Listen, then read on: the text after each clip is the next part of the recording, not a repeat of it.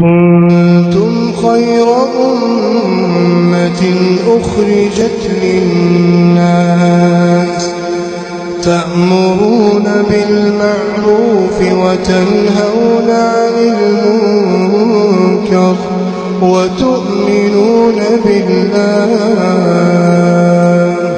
ولو آمن أهل الكتاب لكان خيرا لكان خيرا لهم منهم المؤمنون وأكثرهم الفاسقون السلام عليكم ورحمة الله إن الحمد لله وحده والصلاة والسلام على من لا نبي بعد প্রশংসা আল্লাহ রাব্বুল আলমিনের জন্য দরুদ ও সালাম বর্ষিত হোক নবী মোহাম্মদ রসুল্লাহ সাল্লাহ আলাইহু আসাল্লামের উপর। প্রশ্ন হচ্ছে, ঈদের দিনে আমাদের করণীয় বর্জনীয় কি? বা ইসলামী শরিয়াতে ঈদের দিনের বিধান কি? সমাজের দিকে তাকালে আমরা প্রায়ই যেটা শুনে থাকি বা দেখে থাকি, যে ঈদ মানে আনন্দ, ঈদ মানে খুশি, আর ঈদ মানে যা ইচ্ছা তাই করা যাবে।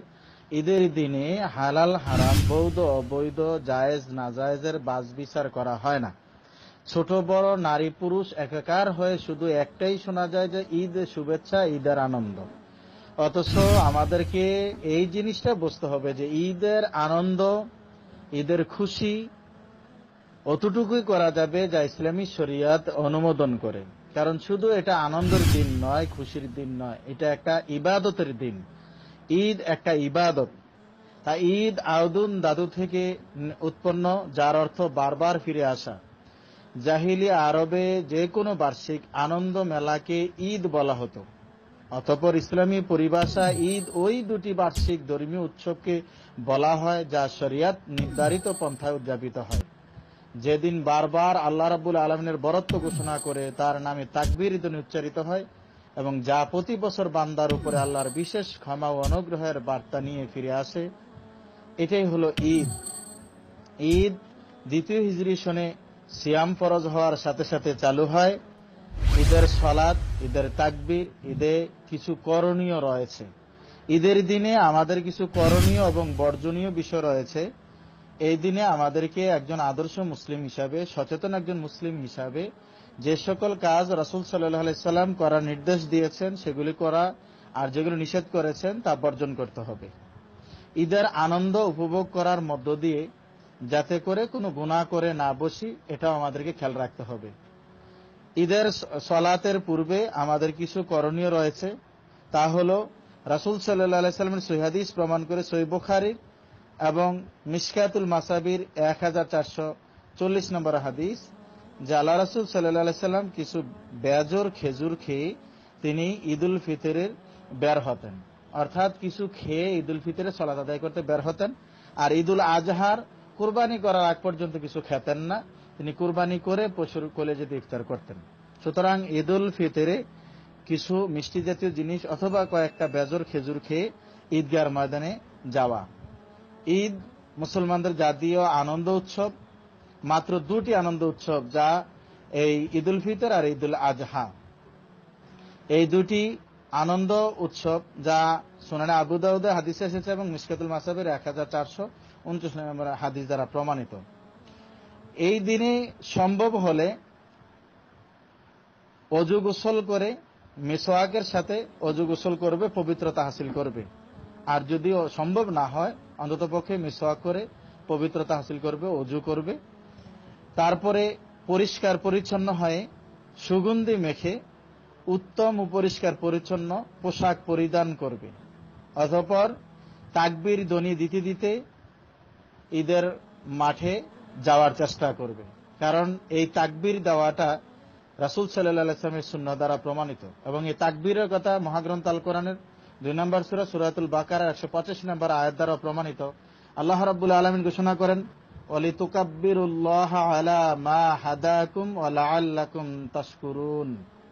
সিয়াম ফরজ করা হয়েছে এজন্য যে আল্লাহ তোমাদের হেদায়ত দান করেছেন, সেজন্য তোমরা আল্লাহর বরত্ব ঘোষণা করবে এবং তোমরা তার প্রতি কৃতজ্ঞতা স্বীকার করবে। সুবাহ আল্লাহ সুবাহ আজিম অর্থাৎ তাকবীর ঘোষণা করায়, তাকবীরের মাধ্য দিয়ে আল্লাহর বরত্ব ঘোষণা করা হয়। আর তাকবীরটি হলো, আল্লাহ আকবার আল্লাহ আকবার।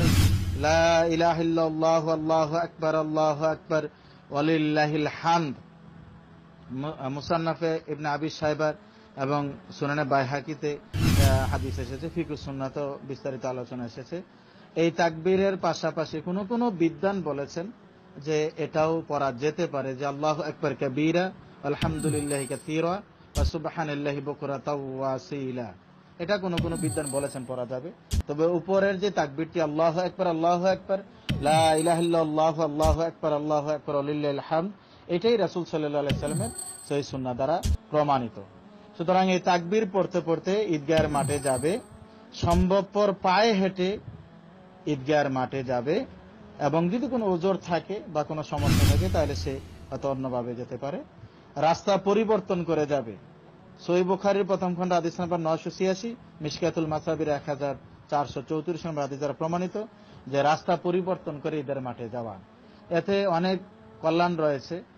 এক রাস্তায় যাবে, আরেক রাস্তা আসলে অন্য মুসলিম ভাইদের খোঁজ খবর নেওয়া কুশলাদের জিজ্ঞেস করা এবং ঈদের আনন্দ ছড়িয়ে দেওয়া এবং সবাইকে মানসিকভাবে আল্লাহ সন্তুষ্টির জন্য প্রস্তুত করে তোলা বিভিন্ন উপকার রয়েছে। সম্ভবপর রাস্তা পরিবর্তন করে যাওয়া এবং অতঃপর ঈদের মাঠের যাওয়ার আগে এবং পরে তাকবির ধ্বনি দেওয়া উচ্চ কণ্ঠে তাকবির ধ্বনি দেওয়া এবং ঈদের মাঠে পর্দার সাথে নারীরাও গমন করবে এবং তারা নিম্নস্বরে তাকবির পড়বে।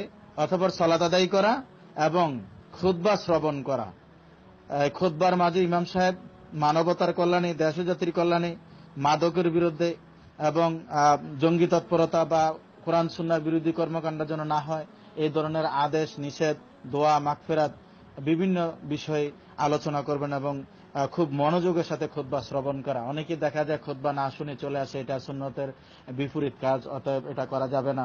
অতএব মনোযোগ সহকারে খোদবা শ্রবণ করবে এবং খোদবাতে বিস্তারিত ইসলামী দিক নির্দেশনা আসবে। এই ঈদের দিনে বর্জনীয় কিছু দিক রয়েছে। কারণ ঈদের দিন মানি অনেকেই এই কথা বুঝে থাকে যে এই দিন হয়তো কোনো পাপও করা যায় গোনা করা যায়, কোনো সমস্যা না আস্তাগফিরুল্লাহ, জি না। ঈদের দিনে বর্জনীয় কিছু বিষয় রয়েছে। তার প্রথমত হলো ডাকাডাকি করা। অনেকেই আর পাঁচ মিনিট বাকি আছে, তাড়াতাড়ি আসেন তাড়াতাড়ি আসেন, মাইকিং করে বা এরকম ডাকাডাকি করে, আহ্বান করে। অথচ ঈদের সলাতের কোনো আজান নেই, ইকামত নেই। তাই ডাকাডাকি করা যাবে না। ঈদের সলাতের ইমামের সলাত এবং খুতবার পূর্বে স্থানীয় কোনো মানুষকে কোনো কোনো এলাকায় খোদবা দিতে দেখা যায়, ভাষণ দিতে দেখা যায় বক্তৃতা দিতে দেখা যায় বক্তৃতা করা চলবে না। এটা সুন্না বিরোধী। কোন কোন এলাকায় ঈদের মাঠে অতিরিক্ত মিম্বার বহন করে নিয়ে যায়। এটা রাসুল সাল্লাহ সাল্লামের সুন্না বিরোধী হাদিস বিরোধী, অতএব মিম্বার না যাবে না। অশ্লীল গান বাজনা করা যাবে না, গালাগালি করা যাবে না, মারামারি করা যাবে না, চুরি, ডাকাতি, ছিনতাই, রাহাজানি, লুটতরাজ, জুলুম, অত্যাচার, হত্যা থেকে শুরু করে যাবতীয় অন্যায় ও পাপের কাজ করা যাবে না, পটকাবাজি করা যাবে না। আহ, মাইকবাজি করা যাবে না ক্যাসেটবাজি করা যাবে না।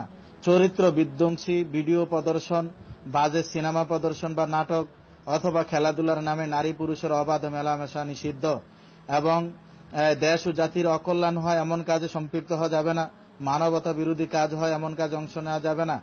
মাদক ধূমপান থেকে শুরু করে যাবতীয় মাদক দ্রব্যের ব্যবহার থেকে বিরত থাকতে হবে। এবং যাবতীয় মাদক ও ধূমপানের বিরুদ্ধে আমাদের সচেতনতামূলক প্রচার প্রচারণা চালাতে হবে। তাই এই দিনে যত ধরনের পাপের কাজ আছে এবং ইসলামী শরিয়া অনুমোদন করে না, এমন কাজও করা যাবে না। যদিও সমাজে ইয়াং জেনারেশনের মাঝে একটা প্রবাদ চালু আছে যে এই দিন আনন্দ করা যায়, কোনো সমস্যা নেই, আস্তাগফিরুল্লাহ। এই জন্য মসজিদের ইমাম, সমাজের মুরব্বী এবং আলেম সমাজ সকলেই দেশ ও জাতির কল্যাণে কাজ হয়। যাতে দেশ জাতির অকল্যাণে কোনো কাজ না করে, কোনো গুনার কাজ ছেলেরা বা মানুষ না করে, কোনো দেশ জাতির মানে ক্ষতি হয় এমন কাজে সম্পৃক্ত না হয়, মানবতা বিরোধী কাজে সম্পৃক্ত না হয়, কোনো চুরি, ডাকাতি চিন্তায় বা অকল্যাণ হয় এমন কাজে সম্পৃক্ত না হয় এই জন্য মানে তাদেরকে সচেতন করতে হবে, সতর্কতা অবলম্বন করতে হবে। পরিবারের যারা দায়িত্বশীল আছে, সমাজ ও দেশ ও জাতির যারা দায়িত্বশীল, তাদেরকে সতর্কতা অবলম্বন করতে হবে এবং পাশাপাশি এই ঈদের দিনের আনন্দ, করণীয় এবং বর্জনীয় বিষয়ে ইলেকট্রনিক্স মিডিয়া প্রিন্ট মিডিয়াও সতর্কতামূলক এয়ার দেওয়ার জন্য আমরা বিশেষভাবে উদাত্ত আহ্বান রাখছি। পাশাপাশি সারা বাংলাদেশে প্রায় তিন লক্ষের উপরে মসজিদ আছে। এই মসজিদের জুমার খুদ্বাগুলিতে ঈদের করণীয় বর্জনীয় বিষয়গুলিও আলোচনা করার জন্য এবং ফেসবুক মেসেঞ্জার টুইটার এবং হোয়াটসঅ্যাপ বিভিন্ন মিডিয়াতে যে সকল আলেম ওলামা কাজ করছেন, দায়ীরা কাজ করেছেন, আমরা উদাত্ত আহ্বান রাখব। আমাদের আলোচনার মাধ্যমে এই বিষয়গুলি শেয়ার করে কমেন্ট করে বা বক্তব্যের মাধ্যমে আমরা যেন সচেতনতা সৃষ্টি করি। আমাদের কাছ থেকে ইতিপূর্বে ঈদের দিনের নামকরণ করে যে গুনার কাজ অশ্লীলতা বেহাপনা সরিয়েছে আমরা যেন আল্লাহ কাছে তহবা করে, আস্তাগফিরুল্লাহ তবে ইলাই এবং সম্মুখের দিকে যেন আমরা এই গুনার কাজে সম্পৃক্ত না হই, বরং আমরা সচেতন মুসলিম হিসেবে, আদর্শ মুসলিম হিসেবে, আদর্শ মানুষ হিসেবে আমরা যেন ঈদের দিনের করণীয়গুলি আদায় করি এবং বর্জনীয়গুলি বর্জন করে আল্লাহ রাবুল আলমিনের সন্তুষ্টি অর্জন করতে চেষ্টা করি। ঈদ যেহেতু একটা আনন্দ উৎসব পাশাপাশি এটা একটা ইবাদত। সুতরাং আনন্দ উৎসবের সাথে সাথে ইবাদতের মধ্য দিয়ে রাসুল সাল্লাহ সাল্লামের শূন্য অনুযায়ী আল্লাহর সন্তুষ্ট অর্জন করি। আল্লাহ আমাদেরকে সুযোগ দান করুক। আল্লাহ আলম। সালামু আলাইকুম রহমতুল্লাহ।